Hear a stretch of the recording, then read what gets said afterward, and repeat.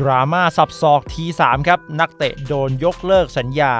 นอตกรุงเทพไม่ปล่อยไว้เตรียมดำเนินคดี เดี๋ยวว่ากัน 3 รายชื่อติดทีมชาติชุดใหญ่มีใครบ้าง เช็คความพร้อมท่าเรือบุรีรัมย์ในเกม ACL ทั้งหมดนี้ในทดเจ็บ 4 นาทีครับ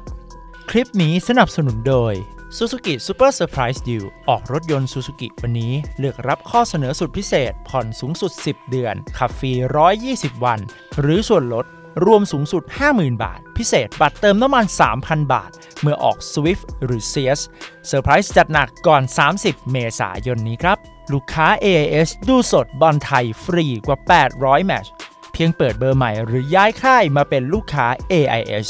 เริ่มต้นกันที่ผลของลีกคัพกันก่อนนะครับที่ได้ทีมเข้ารอบรองชนะเลิศแล้ว 3 ทีมนะครับนั่นคือ PT ประจวบที่เอาชนะอุทัยธานีไปได้ 2-1 ในวันเสาร์ส่วน 2 คู่วันอาทิตย์ครับอย่าง True Bangkok เปิดตัววิทมากกริบเลยครับพ่ายชนบุรีไป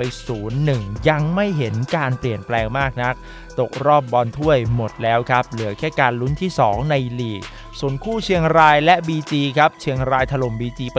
4-2 ครับ ส่วนเกมราชบุรีพบบุรีรัมย์ครับ ต้องรอประกาศวันแข่งในภายหลัง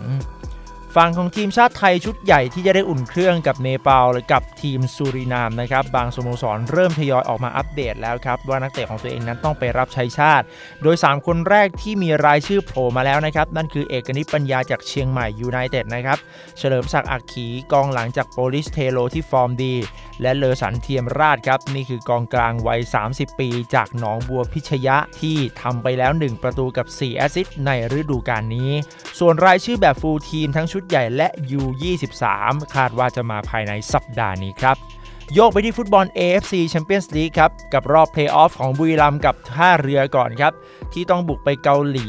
ความพร้อมของบุรีรัมที่ต้องไปเจอแดกูของกามานะครับ นักเตะต่างชาติที่ร่วมเดินทางไปกับทีมก็มีเรบินซูราก้าครับไมคอนมาเกสโจนาธานโบริงกี้องทูและเดียโกบาดังกาหรือวาดีนั่นเองครับกองหลังตัวใหม่ของทีม ส่วนนักเตะที่ไม่ได้ไปนะครับก็มีอายุมาชิก้าครับกับสุภโชคสารชาติที่ป้าต่ายได้คอมเมนต์บอกไว้กับเรา กับอีกคนหนึ่งที่ไม่ได้ไปนั่นก็คือดีเก่านั่นเองครับฝั่งการท่าเรือนี่ขาดผู้เล่นหลายต่อหลายคนครับทั้งจากการติดโควิด และมีอาการบาดเจ็บ การท่าเรือจะไม่มีคู่หูแบ็กลูกครึ่งนะครับทั้งฟิลิปโรลเลอร์และเควินดีรมรัมย์กองกลางขาดวิลเลียมไวเดอร์เฌอครับที่ไม่ได้ส่งชื่อ เซนเตอร์ไม่มีเอเลียสดอเลาะที่ยังไม่พร้อมกับโรเชล่า ส่วนนูรูล ศรียานเก็มมีอาการบาดเจ็บครับ นักเตะต่างชาติที่เดินทางไปกับทีม มีเหลือเพียงแค่โกซุลกิเซร์คิโอ ซัวเรซ และเนลสันโบนิยาเกมการท่าเรือที่จะพบอูซานฮุนไดครับจะแข่งในเวลา 5 โมงเย็นของวันอังคารนะครับ ส่วนบุรีรัมพบแดกูครับจะเตะกันในเวลา 5 โมงครึ่งครับ และมากันที่ไฮไลท์เลยครับ นั่นคือดราม่าทีสามครับ ที่กำลังร้อนแรงเต็มฟีดระอุเลยครับ ทั้งคลิปจังหวะ และก็ภาพของอาการบาดเจ็บ ในเกมที่นอตกรุงเทพ FC ครับ พบกับบางกอก FC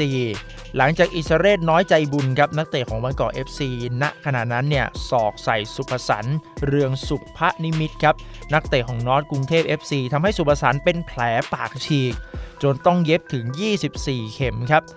คือถ้าใครเห็นภาพเนี่ย โอ้โห ร้องแน่ครับ หลังเกมทางบางกอกโพสต์แถลงการทันทีนะครับ ไม่สนับสนุนการใช้ความรุนแรงในสนาม และยกเลิกสัญญาของอิสราเอลน้อยใจบุญทันทีครับ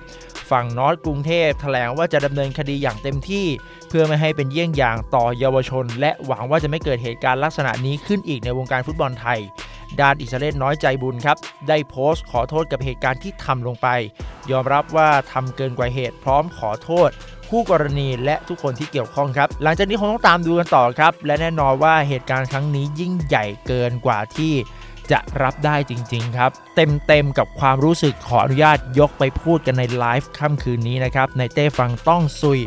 เรื่องราวการดำเนินคดีจะเป็นอย่างไรต้องติดตามต่อไปครับ และนี่ก็คือทั้งหมดของทดเจ็บ 4 นาทีครับ